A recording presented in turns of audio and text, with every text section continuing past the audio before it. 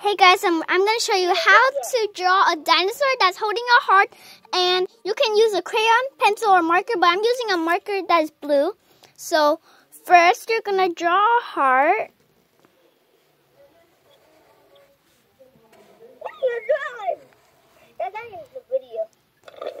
Then you then you do this for the mouth.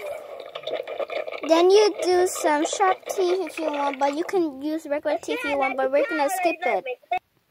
Okay? What are you doing, Kylie? Now, then you're gonna draw this head for the dinosaur. Then draw the circle for the eyes. You can put any eyes if you want, but I'm gonna draw a few eyes.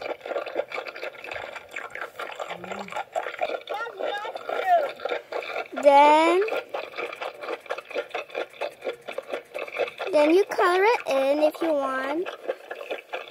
Then, if you want to put some eyelashes, but I'm going to put eyelashes.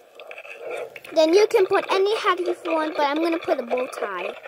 Okay, now to draw the hands and feet, we're to do this for the, we're to do this for the hands.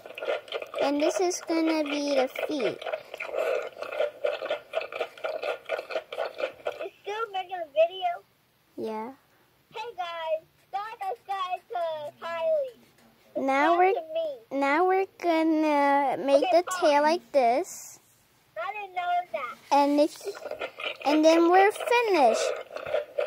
You can color it you can color it green if you want, but now it's time to end this video. I hope you like it. Bye guys.